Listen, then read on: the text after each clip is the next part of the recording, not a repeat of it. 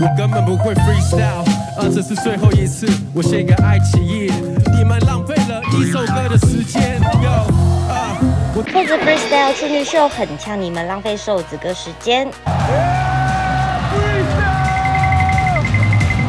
瘦子说唱巅峰这次遇到挑战啦，要和对手 PK freestyle。其实每个联盟里面都有几个 rapper，他其实不太擅长 freestyle，顽童都不会 freestyle。我是真的不会 freestyle 的，然后我也从来没有真的参加过这种 freestyle 的 battle。顽童一生，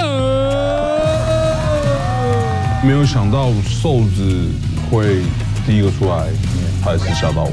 一开始有这个话题出现，我已经感受到在他们三个的身上真的有点啊，真的啊，怎么办？怎么办？然后我会觉得，其实我也很害怕。其实一开始他要直接一打全部的，我就觉得我都还没试，我就让金哥来帮我打，我觉得这是不对的，真的是鼓起勇气挑战一下自己。Let's go。DJ Rita Mel，小跑输，全部早早输，但就只有这一句 diss，现在就此打住。我想我们完了去开派对，去压马路。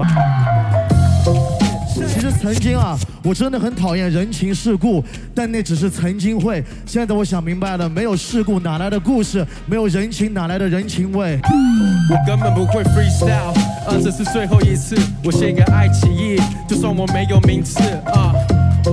就算我不是二十，还是可以教育你们像是个小孩子。Check it 啊，我们又浪费一首歌的时间。呃，我想说的是再说一遍，你们浪费了一首歌的时间。Yo 啊。刚刚一首说浪费了一首歌的时间，不好意思，这轮之后我们再次领先。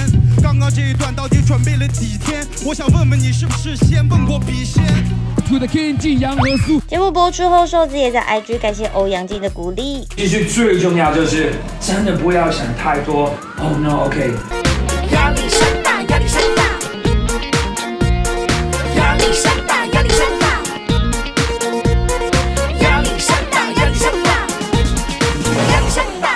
至少反正也没什么好看的。对我真的非常非常佩服他们，因为遇到了长长沙的金刚狼，还有如果吃不饱的话，还有新疆的新疆狼。对对对，我只会这样子而已啦。对对对。